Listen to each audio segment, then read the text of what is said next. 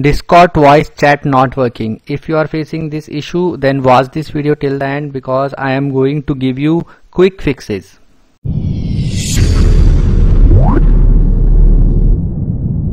First of all check the Discord audio settings. You need to go to uh, your Discord account and click on user settings. Scroll down and click on voice and video you can see in voice setting you can see input and output devices. You can select your microphone accordingly.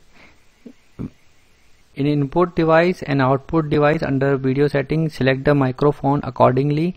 You can increase and decrease the volume from here and you can also test the sound and see uh, it is working properly for you or not.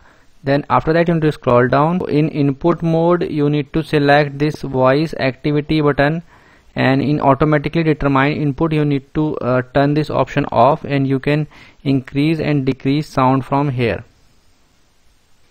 The next step is to adjust the P PC sound setting. Search sound in your PC click on this option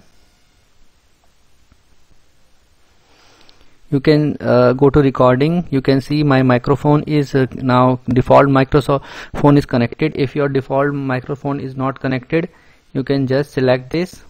The next step is to go to device manager and update your audio devices and uh, update your audio devices to uh, work it properly. Now again go back to the discord and click on settings. Click on uh, this voice and video again scroll down and click on reset voice setting. After that uh, restart your computer and it will work for you. In case you find you this video helpful just hit on the like button and subscribe my channel for my upcoming videos. Bye bye friends. Take care